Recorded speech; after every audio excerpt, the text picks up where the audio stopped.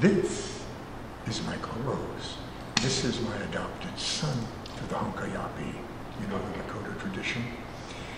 And blood cannot equivocally cannot celebrate that. Only those who we feel worthy of extending our own ethers back and forth to keep vigil on ourselves and our longevity and well-being. It's a thought, and we thought they were savages. Nay, nay. Oldest man in the room. Put your seatbelts on. All right. I thought I'd, uh, I had a friend of mine. I made two odd friends in my life. As a teacher, I oddly became friends with a, like a 13 year old kid who just jived. And now he's 16 and we, we play some guitar together. My other odd friend uh, was just passed away uh, last week. She was 85 years old. Two odd friends. I'm now 31. And uh, this is about uh, my friend, uh, one, uh, Janina, excuse me. So this is called a happy malady. Uh, it's inspired by her because when she talks, she was an art teacher in the city, and uh, and when she speaks, it's rather poetic. She just naturally comes out with poetic phrases and things. So it's called a happy malady. Love, she tells me, sleeps in your mouth like a piece of fruit, warms and plays in us like a malady, a very happy flu. For pining is rooted in this, she says, and love rots the teeth like wild honey. Bees gather it and build their homes from it. But men and women pine for the taste, yes, long for the orange plush boards from which they might build their own homes. Sing songs for those blossoms the nose just might swoon one's craving ears for. I have another poem about her dog, but I could not find it, so we cannot hear it. His name was Buddy O. His name was Buddy, and if you add, if you add an African uh, dash and an O to it, it's like a way of calling in one of the African dialects, and uh, Janina taught me that as well. So she called her dog. She said, "Buddy O, Buddy O." We can't hear that poem though. Um, okay. I'll read one poem that is not a love poem, and the rest will all be love poems. No title. The clock in this room ticks and talks and gawks at me. I gawk at it too. It is the loudest clock I've ever met. I suppose then that that makes it the rudest also.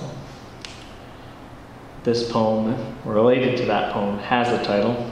It's called The Clock in This Room The clock in this room. The noise is a beautiful one. It connects me to all noises. It shares with me all beauty. It connects me to the universe second upon second. And if I had listened closely, I am connected to the universe beyond this one, the universe between seconds and far beyond my wonderful being here, right here, just here in time. Where is time when a clock ticks and talks, hoots and whispers, whispers and hoots? Tell me. I feel like I feel time evades the clock and all those who are listeners to clocks. Me, myself, I am a timeless one here beside the beating watch, the thrumming keys in my infinite eyes. I sit in a blanket it is green, white, blue, checkered, and patterned. I am a human being. I am a thinking midnight eye. My side has a pain in it. My head is achy and my pulse is heavy in my neck. That is all. My head aches like the Buddha's temples ached before enlightenment. I remember myself then. I perhaps should rather say, my eyes were still green like this blanket. My toes are cold now, but they were not then. One can only hope that if I rest my eyes quick, I will enter into the great stream of streaming and love and be nothing, and want nothing and stroll with gods, casually enlightening them on damp walks through the woods. Let me close my green blanket eyes and return to my source. At last, at last. Let me hold this blanket like a grail and remediate the pains of my body, that is perhaps not my own but Brahman's in another form. Let me sleep, yes, and ask, why can't I dream of the mist that floats above the pavements like an earthen spirit of the moon? The moon sheds a light onto the window of my dreams. She harbors the deer who coyly dips their cool lips into the lake of the moon. And now the fish dream tonight. Perhaps they dream of me, or rather, one can hope so. Truly, one imagines they dream of the mist that floats above the pavements and the spirit that breathes the mist in and out like an enormous fisherman of the world. I dream of the gutter and the creatures that sleep along her mental shores spiders and insects howl at the moon from the gutter, and crickets sing songs to them from the grasses. Water drips, and between its drips, all of these things transpire. I dream, fish dream, pavements dream, lampposts dream, spiders dream, insects dream, water dreams, dripping dreams. And in this way, the world carries on beating as though on a pair of large drums which beat on their own selves and which listen out to their low music, just beating, beating, beating like a gentle jostling of holy bones of sweet, deep lovers in the night.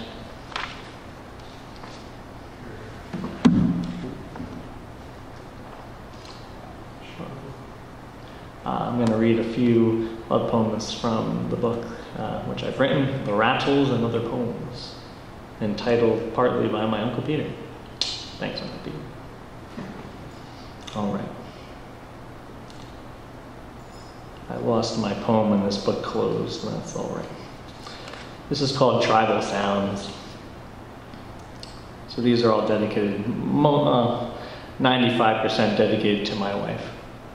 5% dedicated to other people. Hmm. All right, tribal sounds. She wakes me in the morning, making goofy sounds like ancient cavemen. Yarvity, yarvity, yarvity, she says. And I fill a little more with every flightless chirp. Modern cave talk is the sweet talk of my soul.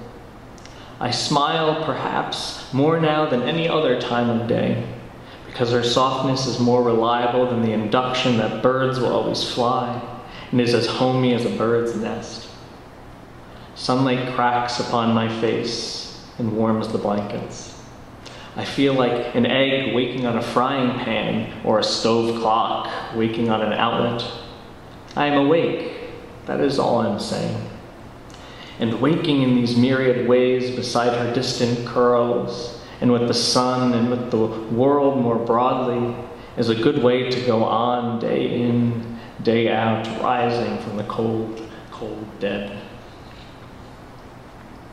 This poem is called Hands. Lean your head on me again, your orange pulp hands gently laid on my lap, your body slinking in and out. You give a nestle like the sound of Buddhist chants. Your om needs the space like a giant pair of hands, sifting through strings of gravitational calling.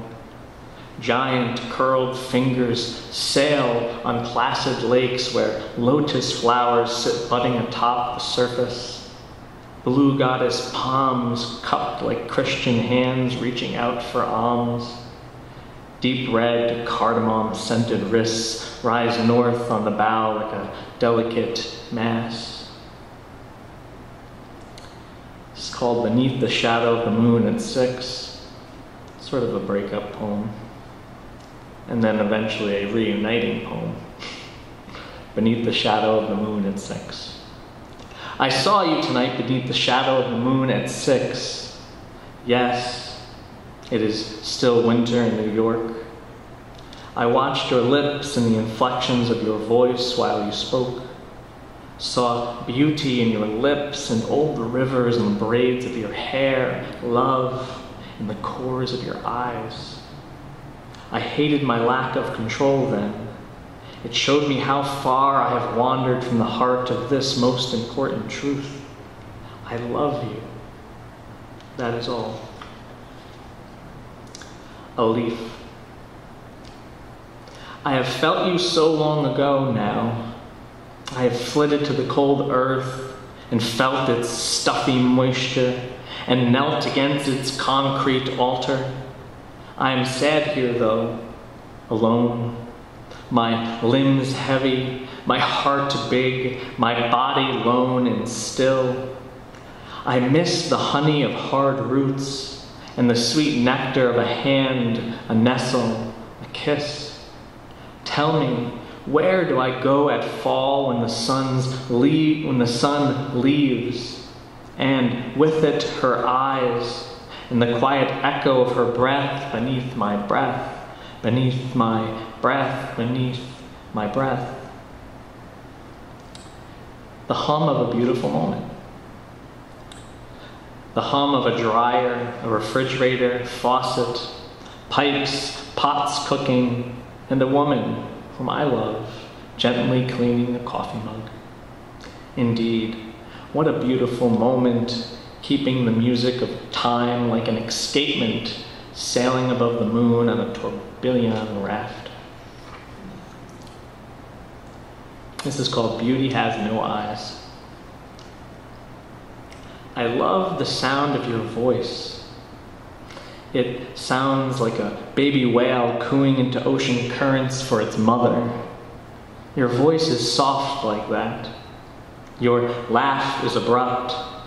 It hears itself and always hides in the shadows behind the moon.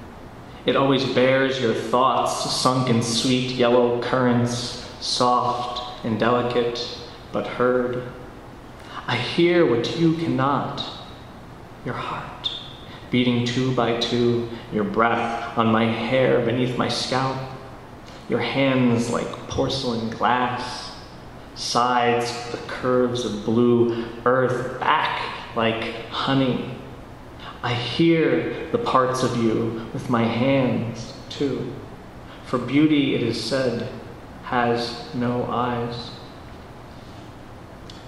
This is called this is called I have nothing to write. I have nothing to write, so I will let you pull from in me like a string of my nerves were tensely gripped by your fists, beautiful fists, hard fists that I love. As you grip them, I will feel a sense of the beautiful. You pull and I spasm a pond ripples in the skin of my ribs. You grip and I shriek a noise. My lips quiver. My hands tremolo in a note of music that was never before shed to human ears or betrothed to human flesh. My heart is in a non corporeal place. I close my eyes here, and we are reminded both of what our love is without the shackles of breakups or of eternity. Yet we are reminded also of red hot tears, the colors of August heat, and hard, crumbling buildings in a ghetto painted by God, blue like the river Bengal, gray like clouds of smoke, red and green as though we're all the sole earthen child of the aurora borealis. Isn't this crumbling city the insides of us all? Oh, you, my love, the color of Athalia. You grip them, these hard ancient strings, and I whisper inaudibly that I love you. I tell you aloud, take all of me, please drown me in this river between us. I will in turn drink this river Styx and I may find you on the other side, my love, where eternity is no more than yesterday. This is called a far off place. You guys are getting the love poem uh, reading. a far off place. Your hands have a freckle on them. Actually, there's a funny story to this. I'm not too funny, but I was uh, like 20 years old, and my so my wife and I we uh, we've been together since I was basically I was was I 17, 15, since 18. I was 18, and now I'm 31, and so we so we separated though for a few months, like six months, and. Uh, some my friend of mine came to my workplace and she comes up behind me and maybe she was flirting with me, but I'm not sure. But she kind of, I think she was we were friends and she comes behind me and she kind of like mirrors my feet, and I, I immediately thought my my you know my wife my my wife has come in, to my workplace and anyways and this is what came of it. So it was it was never her in the poem. So this action takes place in the poem, but it was never my wife. So I never told my friend this either. A far off place. Your hands have a freckle on them, or perhaps I'm imagining that. At any rate, in the way that I am remembering them, they are beautiful. Your palms are soft like the insides of an orange. Your wrists exude citrus notes that twist me inside like a swirling rind. I miss your hands.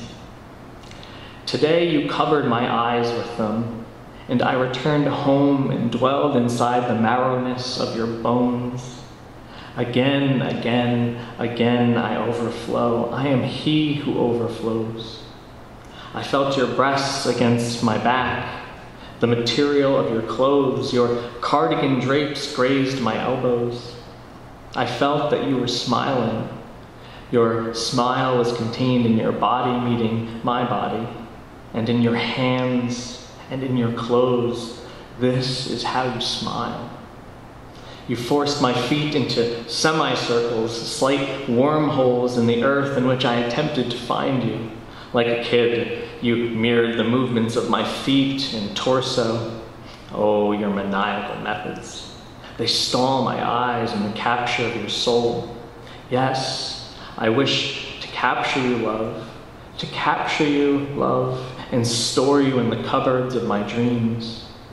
And so I stop and miss you there within the tapestries of dreams.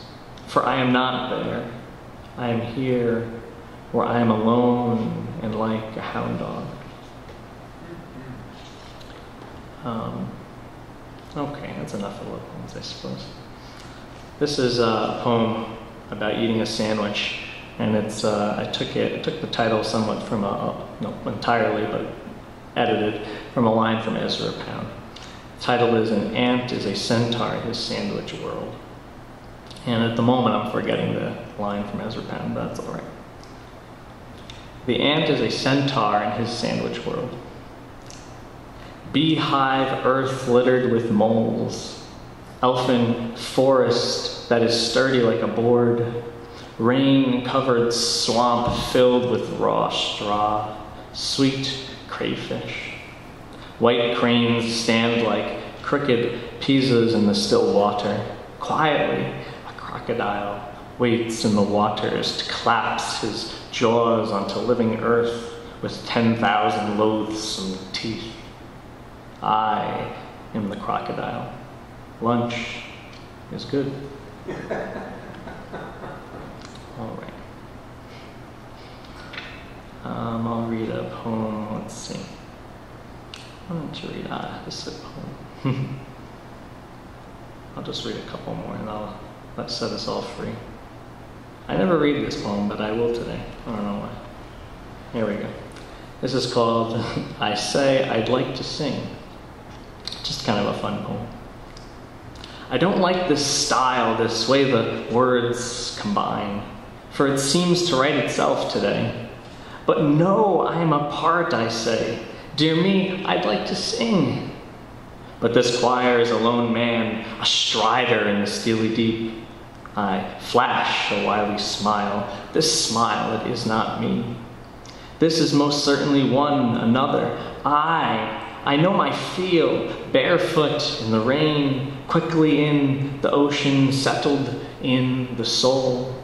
My frills are not so fragile. My words do not crumble through teeth or drip from lips like pipeless sinks. Instead, yes, I steep them in my soul, I think. I spill them from the drum. I batter with loose feet. I drink them from the sun I breathe, ripe like a summer's airy breeze. Or so I so believed, that I once grew gardens by my pen Today I steal away, I know, for I am not sure of he who holds or lends. All right. Let's see. All right, well, I'll read one last poem. This is called My Eternal Years. Hmm? My Eternal Years. I have placed the labors of my soul into this poetry. Indeed, I have invested in it in the heat of many moments when obligations in the world have called my name. Ask that I come down from the hilltop to place my fingertips into the dirt.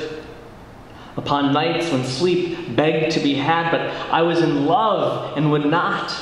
Nights when the contours of a woman's body rolled over in my mind like a giant sleeping Venus to turn my chest, hair, and shirt inside out and wanting more.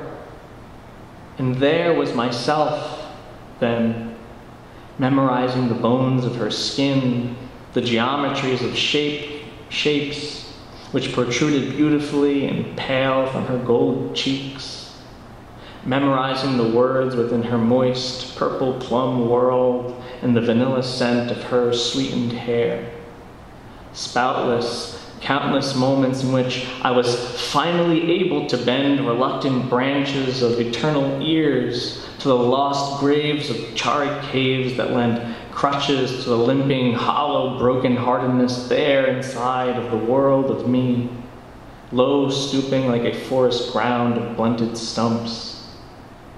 It is in the moments of such magnetism that I have always believed love was enough for poetry very much.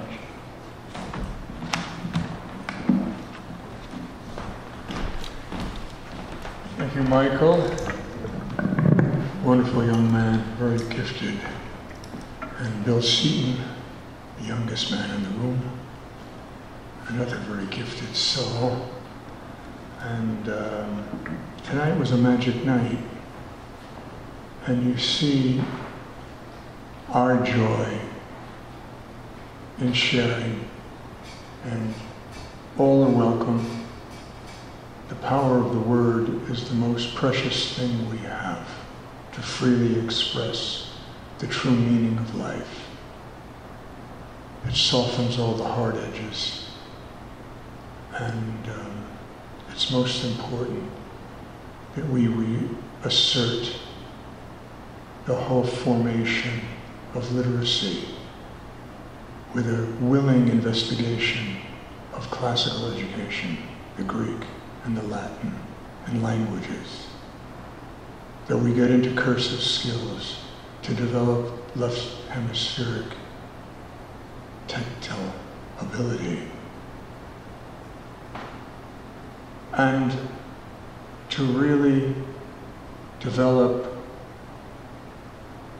a passion for solutions it's very easy to bitch and moan. There's not any time for that anymore. There's only time for solutions. So make sure you are one and we grow in that synergy. Peace. See you next month. And thanks to the powers to be of the Howland, General Howland, who gave this to promote well-being in the community, to Florence Northcutt, through her selflessness to make a 501c out of this, to perpetuate this as a cultural center. To Craig Wolf and Tom Devier and Anda Lieberman, and I bid you adieu.